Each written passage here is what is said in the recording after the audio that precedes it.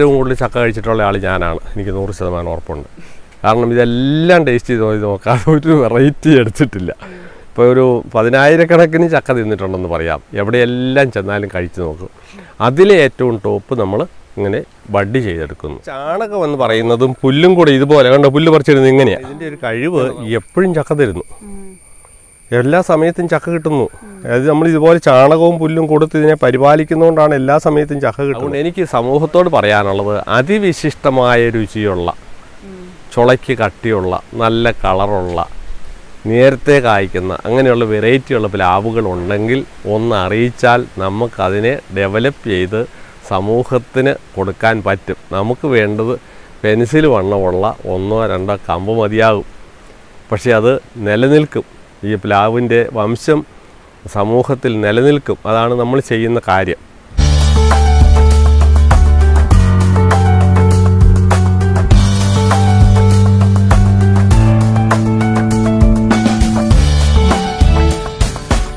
Hi everyone welcome back to happy homes by Akhila ഇന്ന് നമ്മൾ കട്ടക്കയം വീട്ടിലാണുള്ളത് കേട്ടോ.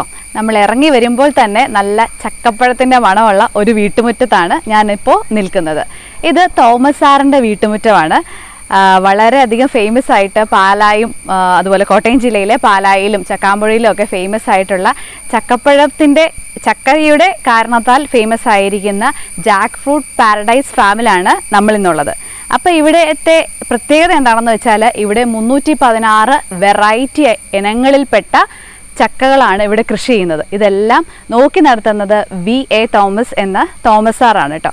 അപ്പോൾ നമുക്ക് ഈ വീട്ടിലെ എങ്ങനെയാണ് ചക്ക ഇത്ര പ്രിയങ്കരമായി മാറിയത്? എങ്ങനെയാണ് ഈ ചക്കാമ്പുഴയെ ഒരു ചക്കയുടെ ഒരു പ്രധാനപ്പെട്ട കേന്ദ്രമാക്കി മാറ്റിയത് എന്നൊക്കെ നമുക്ക് വീഡിയോയിലൂടെ അറിയാം. കേരളത്തിന്റെ ഔദ്യോഗിക ഫലമായ ചക്കയും സ്വന്തം നാടായ ചക്കാമ്പുഴയും ലോക റെക്കോർഡിൽ രേഖപ്പെടുത്തിയ തോമസ് സാറിന്റെ ജാക്ക് ഫ്രൂട്ട് പാരഡൈസ് ആണ് ഇന്ന് നമ്മൾ കാണുന്നത്.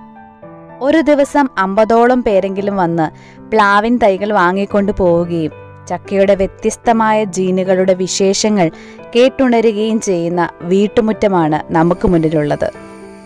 കൃത്യമായ രീതിയിൽ നോക്കുകയാണെങ്കിൽ ഒരേക്കർ സ്ഥലത്ത് നിന്ന് പത്ത് ലക്ഷം രൂപയോളം വരുമാനം നമുക്ക് പ്ലാവിൽ നിന്ന് നേടാം എന്ന് സാറ് പറയുന്നു. പതിനായിരക്കണക്കിന് ചക്കയുടെ സ്വാദറിഞ്ഞ കൈകളാണ് ഇന്ന് നമുക്ക് ഉണങ്ങിയ തേൻ വരിക്ക പഴം തന്ന് സ്വീകരിക്കുന്നത്. ഞാനാണ് ആദ്യം ലോകത്തോടെ ചക്ക ചോറിന് പകരമുള്ള ഭക്ഷണമായി തീരുമെന്ന് പറഞ്ഞത്.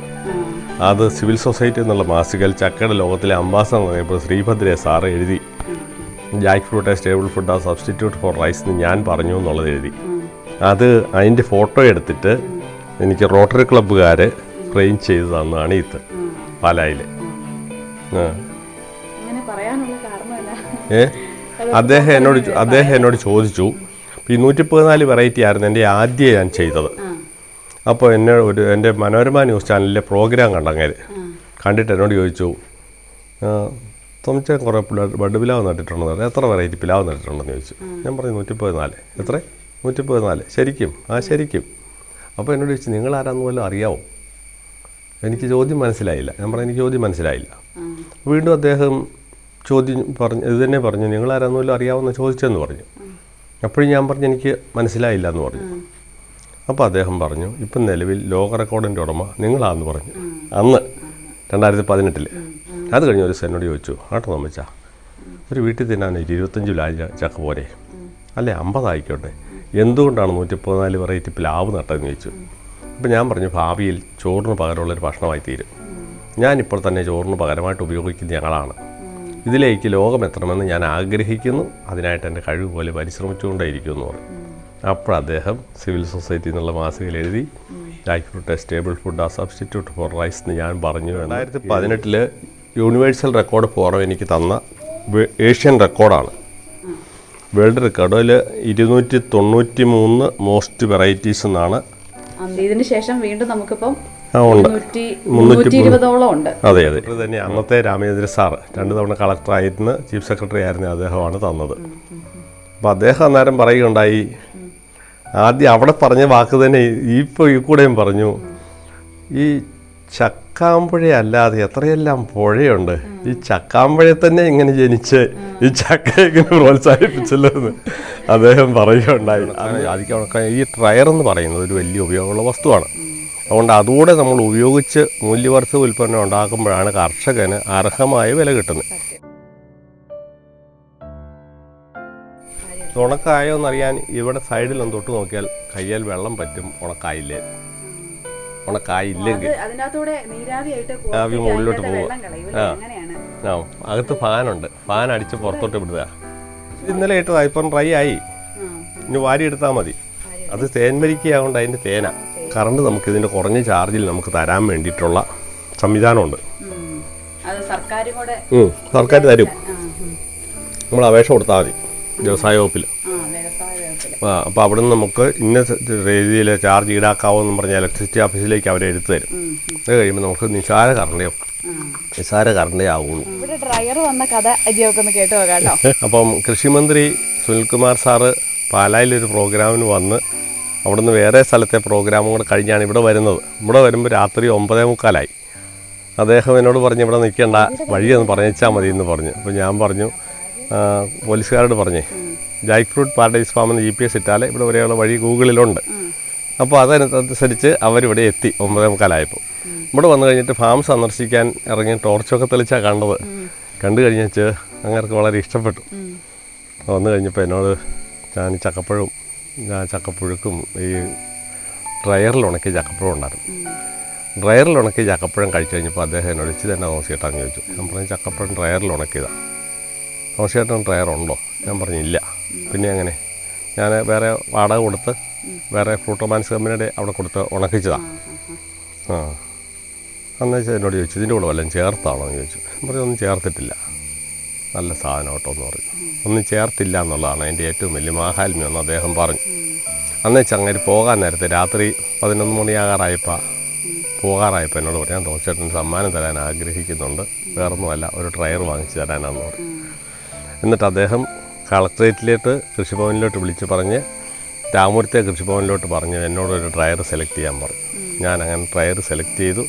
ആ ഡ്രയറാണ് ഇവിടെ ഇപ്പം നമ്മൾ ഉപയോഗിച്ചുകൊണ്ടിരിക്കുന്നത്. അതുകൊണ്ട് എനിക്കത് ഒത്തിരിയേറെ സാധനങ്ങൾ ഉണക്കാൻ ഡ്രൈ ഡ്രൈ ചെയ്യാൻ ഡ്രൈ ഫ്രൂട്ട് ആയി കഴിയുമ്പോൾ എല്ലാത്തിന്റെയും മൂല്യവർദ്ധിത ഉൽപ്പന്നമായി തീരും ഏത്തപ്പഴമൊക്കെ ഉണക്കി കഴിഞ്ഞാൽ ഭയങ്കര ടേസ്റ്റാണ്.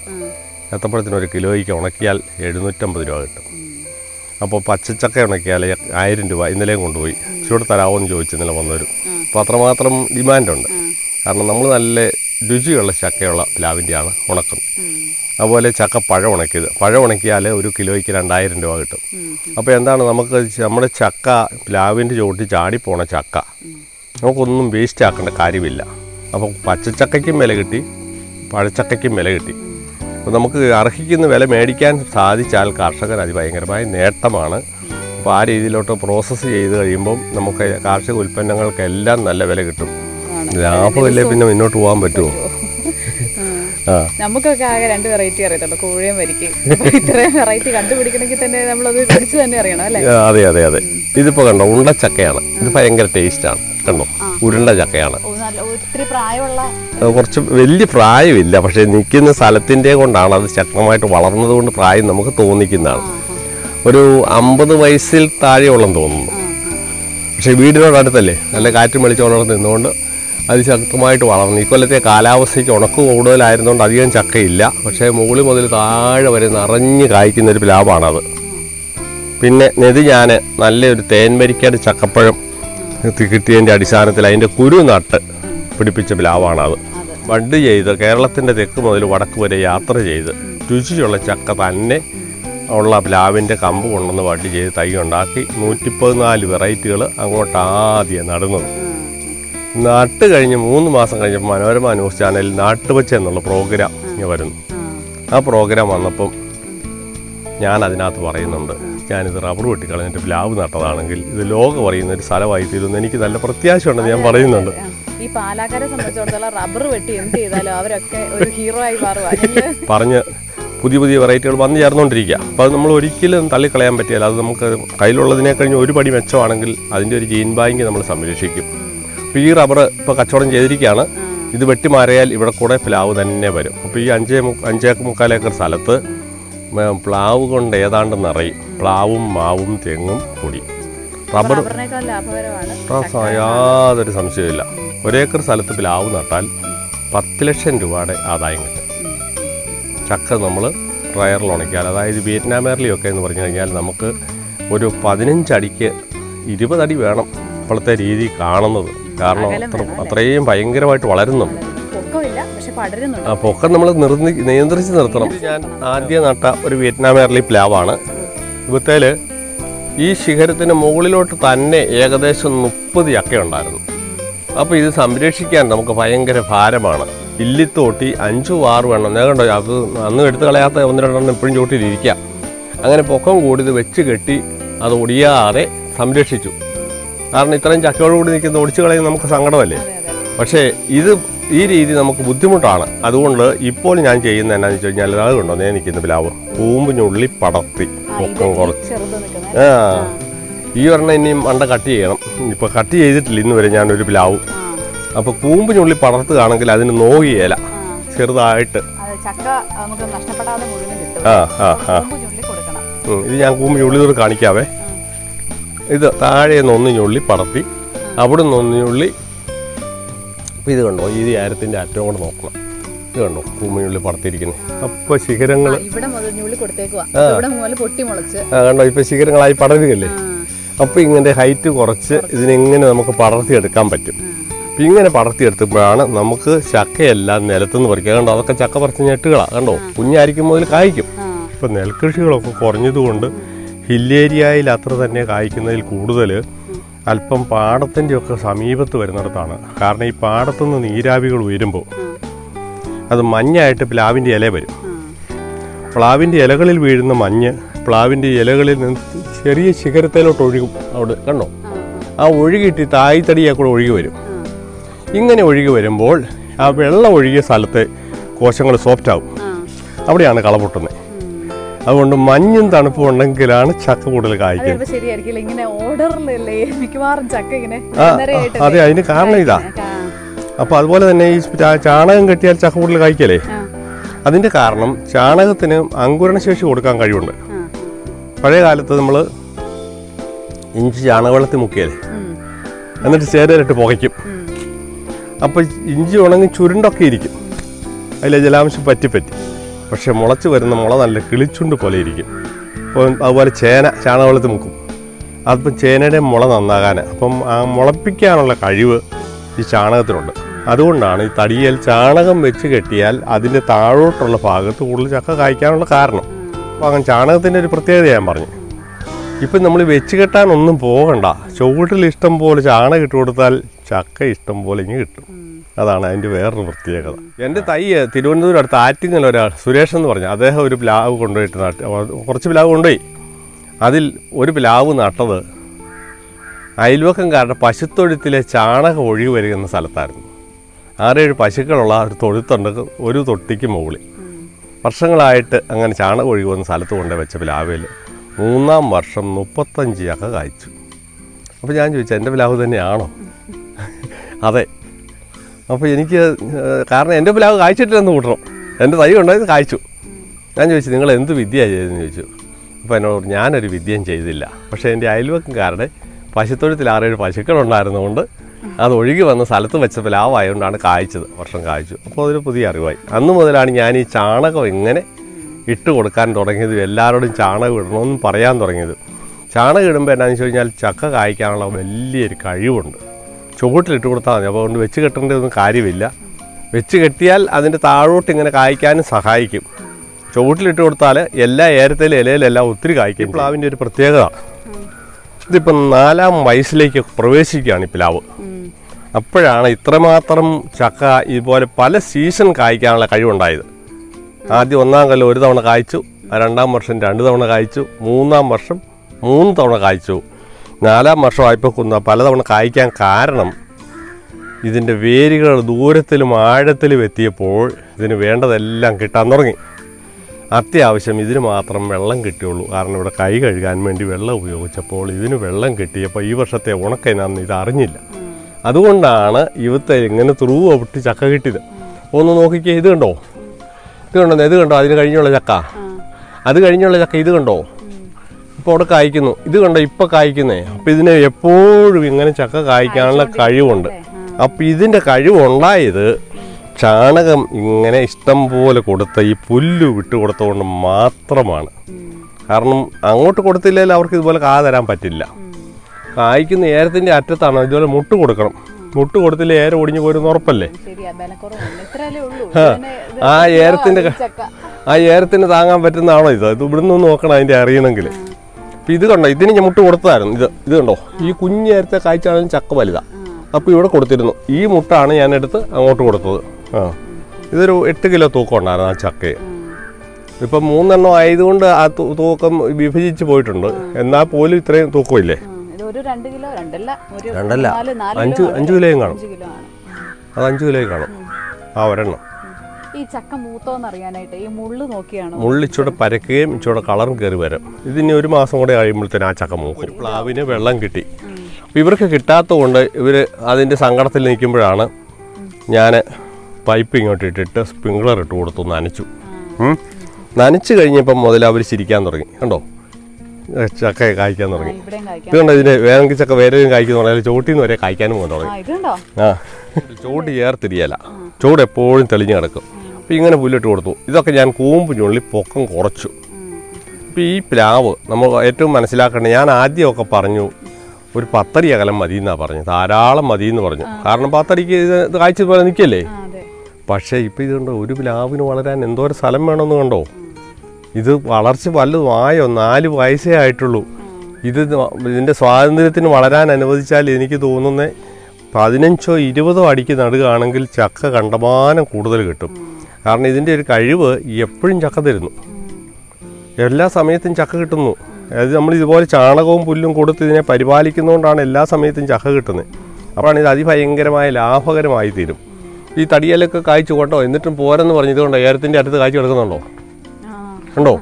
അപ്പോൾ ഇത് ഇതിനൊക്കെ മുട്ട് കൊടുക്കണം നമ്മൾ മുട്ട് കൊടുത്തില്ലെങ്കിൽ ഏരം ഒടിഞ്ഞു പോരും എന്നുള്ള ഉറപ്പാണ്. അതെ ഇരുപതടിയെങ്കിലും പ്ലാവുകൾ തമ്മിൽ അകലവും വേണം. ഇതിന് നാടൻ പോരാ. നാടൻ ഇരുപത്തഞ്ചടി വേണം. കാരണം അവിടുത്തെ പത്ത് നൂറ് ചക്ക ഇത് ഇതിൽ ഇരുപത്ത് ഇരുപത് അടി അകലത്തിലുള്ളത് നിർത്തി ഇതുപോലെ ഒരു നേരം കൂടെ ഞാൻ വളർത്തും. ഇടയ്ക്കുള്ളതിന്റെ മുഴുവനും കമ്പെടുക്കും അത് അതെ ഞാൻ ഏറ്റവും കൂടുതൽ നട്ടിരിക്കുന്ന നാടൻ വെറൈറ്റികൾ ബഡ് ചെയ്ത. നേരത്തെ അമേരിക്ക കണ്ടില്ലേ? ഇതേപോലെ. അങ്ങനെയുള്ള വെറൈറ്റികളാകുമ്പോൾ നമുക്ക് എന്നാന്ന് വെച്ച് കഴിഞ്ഞാൽ ടേസ്റ്റ് കൂടുതലുള്ള വെറൈറ്റികൾ നാടൻ വെറൈറ്റികൾ നമുക്ക് കണ്ടുപിടിക്കാൻ പറ്റും. അതുകൊണ്ട് നമ്മൾ പ്രോസസ്സ് ചെയ്ത് കഴിയുമ്പോൾ ഉൽപ്പന്നമാക്കി കഴിയുമ്പോൾ തന്നെ വിപണിയിൽ ഭയങ്കര ഡിമാൻഡാണ് അപ്പോൾ അതാണ് നമുക്ക് ഏറ്റവും വേറൊരു മെച്ചം. ഇതിനെ സംബന്ധിച്ചിടത്തോളം വിയറ്റ്നാം സൂപ്പർ എയർലി എന്ന് പറയാൻ കാരണം നാളമ്പിലാവ് കായ്ക്കുന്നതിന് മുമ്പേ തന്നെ ഇത് ചക്ക കിട്ടാൻ തുടങ്ങി. Super early. എയർലി. അപ്പോൾ അതനുസരിച്ച് നമുക്കിത് കിട്ടുന്നതുകൊണ്ട് വിയറ്റ്നാം എയർലിയും കൂടെ നമ്മൾ അങ്ങ് ഒഴിവാക്കാൻ പറ്റില്ല. അതുകൂടെ കുറേ നടണം അപ്പം വിയറ്റ്നാം എയർലിയൻ നമുക്ക് നേരത്തെ ചക്ക കിട്ടി. അപ്പോൾ ആ സമയത്ത് ഫോറിൻകാരൊക്കെ വരുന്ന സമയത്തും വിദേശത്തു നിന്നൊക്കെ എത്തിയ ആളുകൾക്ക് ഒരു ചക്ക കിട്ടണമെന്നാണ് ആഗ്രഹം. നാടമ്പിലാവ് കായ്ക്കുന്ന ആ സമയവും ക്രമവും ഒക്കെ താമസിച്ച. അപ്പോൾ ഇത് കിട്ടിയാൽ അത് നമുക്ക് ഭയങ്കരമായ ആദായം കിട്ടും. അപ്പോൾ ചക്കയ്ക്ക് എന്ത് വിലയാണെങ്കിലും ആളുകൾ വാങ്ങിക്കാൻ? കാരണം അവർ രണ്ടും മൂന്നും വർഷം കൂടി വരുന്നവരാണെന്ന് പറയുന്നത് ഒരു ചക്ക കിട്ടാനുള്ള കൊതിയില്ലേ? അപ്പോൾ അതിനെ സഹായിക്കുന്നതാണ് ഇത് വിയറ്റ്നാം വെള്ളം കൊടുത്ത് ആ വെള്ളവും കൂടെ കൊടുത്ത് കൂമ്പുചുള്ളി പടർത്തണം എന്നുള്ളത് പ്രധാനപ്പെട്ട കാര്യമാണ് കേട്ടോ. അപ്പം അത് മാത്രം മറന്നു പോകരുത്. ഇങ്ങനെ കൂമ്പുചുള്ളി ശിഖരങ്ങൾ പൊട്ടിക്കണം. പക്ഷേ ശിഖരം പൊട്ടിച്ചാലും അവിടെ കൊണ്ടൊന്നും നിൽക്കത്തില്ല ചക്ക. ഇതുണ്ടോ പൊക്കത്തിൽ അങ്ങോട്ട് ചെന്നതുകൊണ്ടോ അതിലോട്ട് നോക്കിയാൽ മണ്ടയിലൊക്കെ ചക്ക പറിച്ചതാണ് ആ ശിഖരത്തെ നിന്നൊക്കെ ഇതുണ്ടോ കണ്ടോ? അതിന്റെ ശിഖരത്തെ നിന്നൊക്കെ മുകളിൽ വരെ ചക്ക പറിച്ചതാണ്. പിന്നെ ഇതിന്റെ ഹൈറ്റ് കുറഞ്ഞു നിൽക്കുന്നത് എന്താണെന്ന് ചോദിച്ചു കഴിഞ്ഞാൽ ഇതിന്റെ മുകളിൽ നിന്ന് കമ്പ് കട്ട് ചെയ്തെടുത്തിട്ടാണ് നമ്മൾ ബഡ് ചെയ്ത് തൈ ഉണ്ടാക്കുന്നത്. അപ്പോൾ ഒന്ന് രണ്ട് ഗുണമുണ്ട്. ഒന്ന് ഇതിന്റെ ഹൈറ്റ് കുറയ്ക്കാം. പിന്നെ ഈ മാതൃവൃക്ഷത്തിന്റെ അതേ ഗുണം കിട്ടും. അത് വെച്ച് നമുക്ക് ബഡ്ഡും ചെയ്യാം. ബഡ്ഡും ചെയ്യാം. അപ്പോൾ ഞാൻ ചെയ്യുന്നത് രാസവള ഇടിയല ആ. എല്ലുപൊടി വേപ്പിൻ പിണ്ണാക്ക് കടലപ്പിണ്ണാക്ക് ഇതൊന്നും ചേർക്കുകയില്ല തികച്ചും നാച്ചുറലായിട്ട് ചാണകം ഇട്ട് കൊടുക്കുന്നു പുല്ലും മാത്രം. അപ്പോൾ എന്താണെന്ന് ചോദിച്ചു കഴിഞ്ഞാൽ രോഗപ്രതിരോധ ശക്തി നമുക്ക് ഇതിന്റെയൊക്കെ ഇലയ്ക്കൊക്കെ എന്നാ നിറവാണ്. ഒരു ഒരു ആ സാധനത്ത് ഇച്ചിരി എന്നതെങ്കിലും ഇട്ട് കൊടുത്തു കഴിഞ്ഞാൽ ഇതിന്റെ കോശങ്ങൾക്ക് കടുപ്പം കുറയും. അപ്പൊ അപ്പോൾ ബാക്ടീരിയ നല്ല കട്ടിയുണ്ട് അല്ലേ? കട്ടിയുണ്ട് കടുപ്പ് നിറവുമുണ്ട്. തിളക്കമുണ്ട്. അപ്പൊ അപ്പോൾ കീടനാശിനി ഈ പറമ്പ് കണ്ടിട്ട് പതിനാല് വർഷമായി. രാസവളം ഈ പറമ്പ് കണ്ടിട്ട് പതിനാറ് വർഷമായി. അതാണ് ഏറ്റവും വലിയ ഒരു അറിഞ്ഞിരിക്കേണ്ട കാര്യം. അപ്പോൾ ഈ സീറോ ബഡ്ജറ്റ് പോകുന്ന എങ്ങനെയാണെന്ന് വെച്ചാൽ ആ പറിക്കുന്ന പുല്ലുകളാണ് ഈ ചുവട്ടിലിടുന്നത്. കണ്ടോ? പിന്നെ ഏറ്റവും പ്രധാനപ്പെട്ട ഒരു കാര്യം പറയാനുണ്ട്. ഇപ്പം ഞാൻ ഈ വെള്ളമൊക്കെ സ്പ്രിംഗ്ലർ ഇട്ട് മഴ പെയ്യിക്കുന്നുണ്ട്. പക്ഷേ ഒരു നാല് കൊല്ലം മുന്നം വെള്ളമില്ലായിരുന്നു. എന്റെ മുറ്റത്തെ കെട്ടിലെ വെള്ളം പറ്റും വേനക്ക്. അപ്പം ചക്കയുടെ ലോകത്തിലെ അംബാസഡർ എന്ന് പറയുന്ന ശ്രീഭദ്രേ സാറ് ഈ ഫാം സന്ദർശിക്കാൻ വേണ്ടി വന്നു. പാലായി ക്ലാസ് എടുക്കാൻ വന്നപ്പോൾ. ഇവിടെ വന്നിട്ട് ആൾ കണ്ടു കഴിഞ്ഞപ്പോൾ അദ്ദേഹത്തിന് വളരെ ഇഷ്ടപ്പെട്ടു. എന്നോട് പറഞ്ഞു എനിക്ക് വളരെ ഇഷ്ടപ്പെട്ടു. നല്ലതാണെന്ന് പറഞ്ഞു. ഞാൻ പറഞ്ഞു എനിക്ക് ഇഷ്ടമൊക്കെയാണ് പക്ഷേ എനിക്കൊരു ആശങ്കയുണ്ട് എന്താ ആശങ്കയെന്ന് ചോദിച്ചു. വെള്ളമില്ല. എങ്ങനെ മുന്നോട്ട് പോകും? അപ്പോൾ അങ്ങനെ എന്നോട് ചോദിച്ചത് എന്തോ ഒരു സ്ഥലമുണ്ട്. ഞാൻ പറഞ്ഞു അഞ്ചേ മുക്കാലേക്കർ നമുക്കൊന്ന് കാണാം എന്ന് പറഞ്ഞു. അങ്ങേര് അവിടെ നിന്ന് മുറ്റത്തൂടെ വന്ന് അപ്പുറത്തൂടെ കയറി ഇങ്ങനെ ഇങ്ങനെ വന്നിട്ട് എങ്ങേയറ്റം എന്റെ പറമ്പിലെ ഏറ്റവും ഉയർന്ന സ്ഥലം. ഏറ്റവും ഉയർന്ന സ്ഥലത്ത് ചെന്നപ്പോൾ അങ്ങേര് പറഞ്ഞു നിങ്ങൾക്ക് എന്നാ വെള്ളത്തിന് ബുദ്ധിമുട്ട്? ഇതെന്നാ ഇങ്ങോട്ട് വന്നപ്പോൾ ഇവിടെ വന്നപ്പോൾ ഇങ്ങേര് പറഞ്ഞതെന്ന് എന്റെ മനസ്സിലൊരു തോന്നൽ കാരണം ഉയർന്ന സ്ഥലത്ത് വന്നപ്പോൾ വെള്ളത്തിന് ബുദ്ധിമുട്ട് എന്നാന്നാ ചോദിക്കുന്നത് പക്ഷെ അങ്ങനെ ശരിക്കും ശാസ്ത്രീയമായിട്ടാണ് പറഞ്ഞത്. ഉയർന്ന സ്ഥലത്ത് നമ്മൾ നാല് കുഴൽ പരസ്പരം കണക്റ്റഡ് ആണെങ്കിൽ ഒരു കുഴലിൽ വെള്ളം ഒഴിച്ചാൽ നാലിലും തുല്യമാകുന്ന ഒരു തിയറിയില്ലേ ആ തിയറി അനുസരിച്ച് അവിടെ ഉയർന്ന സ്ഥലത്ത് വെള്ളം താന്നാൽ താഴ്ന്ന സ്ഥലത്ത് ജലവിധാനം ഉയരും. അപ്പോൾ അവിടെ എന്നോട് പറഞ്ഞു നല്ല മഴയത്തൊരു കുട ചൂടി വന്ന് ഇവിടെ എവിടെയെല്ലാം വെള്ളം കിട്ടി നിൽക്കുന്നുണ്ട് നോക്കിയിട്ട് അവിടെ കുഴി കുത്താൻ പറഞ്ഞു നിങ്ങളുടെ കിണറ്റിൽ വെള്ളം ഉണ്ടാവും എന്ന് പറഞ്ഞു ശരിയാന്ന് എനിക്ക് ആ ശരിയാന്ന് എനിക്ക് തോന്നി. അപ്പം ഞാൻ എന്ത് ചെയ്തു? ഞാൻ ഏറ്റവും ഉയർന്ന സ്ഥലത്തോട്ട് പ്ലാവകം നട്ടു. അങ്ങേറ്റം ആകാശം പോലെ കാണുന്നില്ല അവിടെ വരെ പ്ലാവകം നട്ടു. അപ്പോൾ അതിന്റെ കൂടെ ചെയ്തത് ഈ പണി കൂടെയാണ് ഇതുണ്ടോ കുഴികൾ ആ കുഴി ഒന്ന് എടുത്തു. ആ കുഴിയെ ഈ കുഴിയെ എല്ലാ തൊട്ടിയിലും ഇതുപോലെ കുഴികൾ അങ്ങേയറ്റം വരെ എടുത്തു. ഇപ്പം വെള്ളം പറ്റുന്ന എന്റെ കിരട്ടിൽ വേനൽക്കാലത്ത് ഏറ്റവും ഉണക്കമുള്ളപ്പോൾ പതിനാല് അടി വെള്ളമുണ്ട്. അതുകൊണ്ട് ലോകം മനസ്സിലാക്കേണ്ട ഒരു കാര്യമാണ്. വളരെ വിലപ്പെട്ട നമ്മുടെ വെള്ളവും മണ്ണും നമ്മൾ സംരക്ഷിക്കണം. ഫ്ലഡിന് വെള്ളം ഇടാനില്ല ഇവിടുന്ന്. ഈ കുഴികളിൽ മുഴുവൻ വെള്ളം താത്തുകയാണ്. കിണറ്റിലേക്ക് എത്തും. അതുകൊണ്ട് ഇപ്പം എനിക്ക് വെള്ളത്തിന് ഒരു പഞ്ഞവും ഇല്ല. നമുക്ക് ഇത് സ്പ്രിംഗ്ലർ ഇട്ട് നനയ്ക്കാൻ ഇപ്പോൾ കണ്ടോ? ഇതൊക്കെ നനയ്ക്കുന്നത് സ്പ്രിംഗ്ലർ ഇട്ടാ. ഒരു കുഞ്ഞു മഴ പെയ്ക്കണം തോന്നിയാൽ ഒന്ന് ടാപ്പ് തിരിച്ചാൽ മതി. ഇതെല്ലാം നനയും. ഇപ്പം ആളെ വെച്ച് നനയ്ക്കേണ്ട കാര്യമില്ല. അപ്പോൾ ആ രീതിയിലോട്ട് നമുക്ക് ഇത് കൊണ്ടുപോകാൻ പറ്റും. അപ്പോൾ ഉയർന്ന സ്ഥലത്ത് ചക്ക കായ്പ്പിക്കാനും പറ്റും. കുന്നിന്റെ പൊക്കത്തിലും ചക്ക കായ്പ്പിക്കാൻ പറ്റും. മോളി കായ്ക്കുന്ന ചക്കയ്ക്ക് കൂടുതൽ വലിപ്പമുള്ളതായിട്ട് തോന്നാറുണ്ട്. ഇപ്പം താഴ്ന്ന പ്രദേശത്തെക്കാളും കൂടുതൽ ഫലം വലുപ്പം കൂടുതൽ മുകളിലുണ്ടാകുന്ന ചക്കയ്ക്കാന്ന് എനിക്ക് തോന്നിയിട്ടുണ്ട്. അത് വെറൈറ്റി പ്ലാവിന്റേതുണ്ട്. ഓരോ ജീനിനും ഓരോ കഴിവാണ്. ചില പ്ലാവിന്റെ ഞാനിപ്പോൾ ഒക്ടോബർ ചക്ക കിട്ടുന്ന ഒരു പ്ലാവിന്റെ കയ്യിലുണ്ട്. ആ പ്ലാവിന്റെ ചക്കയ്ക്ക് ഒരു ഒൻപത് കിലോ പത്ത് കിലോ ഏറ്റവും കൂടി തൂക്കം. അതിന് മുകളിലോട്ട് വരാറില്ല. ആ സ്ഥാനത്ത് ഡിസംബറിൽ കായ്ക്കുന്ന ഒരു പ്ലാവുണ്ട്. അതൊരു പതിനൊന്ന് കിലോ പന്ത്രണ്ട് കിലോ വരെ വരും. രണ്ട് ഒരു അഞ്ച് മാസം ആറ് മാസം മുടങ്ങാതെ ചക്ക തരുന്ന നല്ല തേൻ വരിക്കുക ഒക്ടോബറിലേതും അതെ ഡിസംബറിലേതും അതെ. അതുകൊണ്ട് ഞാൻ ഇപ്പോൾ ഏറ്റവും കൂടുതൽ ബഡ് ചെയ്യുന്നതും എല്ലാവരിലും എത്തിക്കുന്നതും അത് തന്നെയാണ്. ഒക്ടോബറിലും ഡിസംബറിലും. അതുകൊണ്ട് ആ തൈ എത്ര എത്രയുണ്ടെങ്കിലും തികയത്തുകയില്ല. അതിന്റെ തൊട്ട് പുറകെ കിട്ടുന്ന വേറൊരു പ്ലാവുണ്ട്. അതൊരു മൂന്ന് മാസത്തേന് ചക്ക കിട്ടും. വലിയ ചക്കയാണ്. പത്തിരുന്നൂറ് ചക്ക കായ്ക്കും. പ്ലാവിന് അന്നേരം നൂറ്റി ഇരുപത് ഇഞ്ച് വണ്ണമാണ്. വലിയ പ്ലാവാണ്. വലിയ പ്ലാവ? അപ്പോൾ ആ പ്ലാവും നമ്മൾ ബഡ് ചെയ്തിട്ടുണ്ട്. അപ്പോൾ എന്നാന്ന് ചോദിച്ചാൽ മുടങ്ങാതെ നമുക്ക് ആദ്യത്തെ ഒരു ആറ് മാസം കിട്ടും. അത് കഴിഞ്ഞ് മുന്നൂറ് ആയപ്പോൾ ഒമ്പത് മാസത്തോളം നമുക്ക് ഫസ്റ്റ് സീസൺ മുതൽ ചക്ക കിട്ടും. രുചിയുള്ള ചക്ക തന്നെ. അപ്പോൾ അതുകൊണ്ട് അതാണ് ഞാൻ ഏറ്റവും കൂടുതലായിട്ട് ചെയ്യുന്നത്. അത് കഴിഞ്ഞ് സീസണിൽ കിട്ടുന്നുണ്ട്. സീസണിൽ കിട്ടുന്നതെന്ന് പറയുമ്പോൾ എല്ലാവരുടെയും കയ്യിൽ ചക്കയുണ്ട്. എന്നാലും വലിയ ഡിമാൻഡില്ല അതുകൊണ്ട് അതൊക്കെ നമ്മൾ തൈ വില കുറച്ച് കൊടുക്കേണ്ടി വരും. ഇത് നമുക്ക് എത്ര ഉൽപ്പാദിപ്പിച്ചാലും തികയുന്നില്ല. ആ നമ്മൾ പരമാവധി തൈ ഇതൊക്കെയാണ് ഉൽപ്പാദിപ്പിക്കുന്നത് പിന്നെ ഇങ്ങനെയുള്ള പല വെറൈറ്റികൾ ഇപ്പോൾ പുതിയതായിട്ട് കണ്ടു കിട്ടി പുതിയതായിട്ട് കണ്ടു കിട്ടിയതെന്ന് പറഞ്ഞാൽ ഒരു ചക്ക ഒരു ഇരുപത് കിലോ ഒക്കെ കാണും. അതിനൊരു എസൻസ് കലർന്ന ടേസ്റ്റാണ് ചക്കത്തുളയ്ക്ക് നല്ല കട്ടിയും നല്ല രുചിയും കളറും എല്ലാം ഉണ്ട്. അങ്ങനത്തെ വെറൈറ്റികളാണ് ഇപ്പം നമ്മൾ കൂടുതൽ ഡെവലപ്പ് ചെയ്യുന്നത് അപ്പോൾ വ്യവസായത്തിലോട്ട് പിന്നീട് വരുമ്പോൾ ഇത്തരം പ്ലാവുകൾ നട്ടാൽ അതായത് നെസ്സിന്റെ കാപ്പിപ്പൊടിയും റൂവിന്റെ കാപ്പിപ്പൊടിയും അല്ലാത്ത കാപ്പിപ്പൊടിയും വിപണിയിലുണ്ട്. പക്ഷേ മൂന്നിന് മൂന്നാണ് വില. കാരണം അതിന്റെ ടേസ്റ്റാണ് എന്ന് പറഞ്ഞാൽ ഇതിന്റെ ജീനിൽ തന്നെ അടങ്ങിയിരിക്കുന്ന ഒരു കഴിവനുസരിച്ച് ഓരോ പ്ലാവിനും ഓരോ ടേസ്റ്റാണ് തരാൻ പറ്റുന്നത്. അപ്പോൾ അതിനെ കണ്ടെത്തി ബഡ് ചെയ്ത് തൈ ഉണ്ടാക്കി കൊടുക്കുക എന്നുള്ളതാണ് എന്റെ ലക്ഷ്യം. എന്റെ പറമ്പിൽ ഒരെണ്ണം നടും. ഈ നല്ല വെറൈറ്റി ഏതാണെങ്കിലും. ഒരെണ്ണം നട്ട ശേഷം ബാക്കി തൈകൾ എത്ര വേണേലും ആർക്ക് വേണമെങ്കിലും കൊടുക്കുകയും ചെയ്യും. കൊടുക്കാമല്ലോ അപ്പോൾ ഒരു ജീൻ ബാങ്ക് എന്റെ മനസ്സിലെ ആദ്യത്തെ ഒരു ലക്ഷ്യമായിരുന്നു. അതിലേക്ക് ഇപ്പോഴും മുന്നോട്ട് നീങ്ങിക്കൊണ്ടിരിക്കുകയാണ്. വളരെയേറെ വലിയ മനസ്സുകൾ ഇപ്പോൾ സെക്രട്ടേറിയറ്റ് ജോലിയുള്ള ഒരാ ആൾ അദ്ദേഹം അവിടുന്ന് ഒരു ചക്ക ഇവിടെ കൊണ്ടുവന്ന് തന്നു. നോക്കണം ഒരു ഗസറ്റഡ് ഓഫീസറാണ്. അങ്ങനെയുടെ ഭാര്യ ഗവൺമെന്റ് സെക്രട്ടറിയാണ്. രണ്ടുപേരും അത്ര ഉയർന്ന പൊസിഷനിലുള്ളവരാണ് അപ്പോൾ ഇത് സമൂഹത്തിനൊരു നന്മ ചെയ്യുമെന്ന് കണ്ടിട്ട് അവർ അതിനെ ഇവിടെ കൊണ്ടുവന്ന് എന്നിട്ട് എനിക്ക് വേണ്ടി ഒരു ദിവസം സെക്കൻഡ് സാറ്റർഡേയിൽ അവധിയെടുത്ത് തിരുവനന്തപുരത്ത് കാത്തിരുന്ന് എന്നെ വിളിച്ച് അവിടെ കുറേ പ്ലാവുകൾ പരിചയപ്പെടുത്തി. അങ്ങനെ ഒട്ടേറെ ആളുകളുടെ സഹകരണത്തോടുകൂടി വെറൈറ്റികൾ കൂടുതൽ കൂടുതൽ വരുന്നത്. ഓരോരുത്തരിൽ നിന്ന് കിട്ടുന്ന അറിവുകൾ. ഐ ജി ബാബുരാജ് സാർ തിരുവനന്തപുരത്ത് നിന്ന് വിളിച്ച് അദ്ദേഹത്തിന്റെ രണ്ട് വെറൈറ്റി ഉണ്ട്. എറണാകുളത്ത് എസ് ഐ വിളിച്ച് പറഞ്ഞു തൃപ്പൂണിത്തറ ഹിൽ പാലസിൽ ഒരു നല്ല വെറൈറ്റി ഉണ്ട്. അതൊക്കെ അതിനടുത്ത് ചെയ്ത് കഴിഞ്ഞു കേട്ടോ.